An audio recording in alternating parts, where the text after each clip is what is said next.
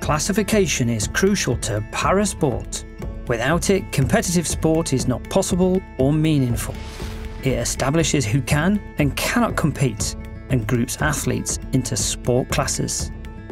Disabled people who are not eligible to compete at the Paralympic Games can continue to enjoy sport, but they are not on a Paralympic journey. The classification system of each sport is different, but its aim is always the same to minimise the impact of someone's impairment on the outcome of competition. Classification might seem complicated, but so are people. No two para athletes are completely identical. Athletes may look different to their competitors, as there is a spectrum of impairments in each class. To be classified, athletes must submit medical information, go through sport and impairment specific tests, and they may be observed in competition. During the classification process, athletes must give their best effort and a true reflection of their impairment. Athletes can choose someone to accompany them during this process. To enter a national competition, the athlete must go through national classification, run by the sport's national governing body. This should mirror international classification as much as possible. To enter an international competition, the athlete must undergo international classification, run by the Sports International Federation. This outcome always overrules national classification. Classifiers work in panels of at least two and make decisions together. They decide which class an athlete competes in.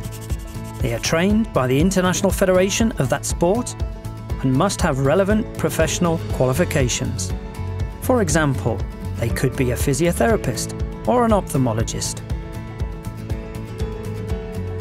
Intentional misrepresentation, where someone fakes their level of impairment, is cheating if it's proven, athletes or staff can face a maximum four year ban.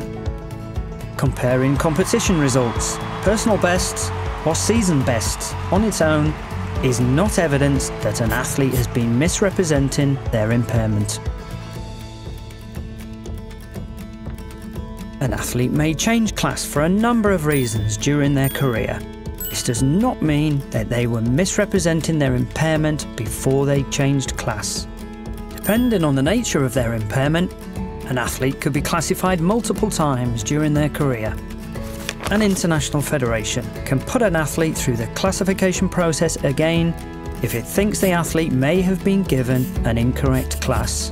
Athletes may need to go through the classification process again when there are changes made to the sports classification rules.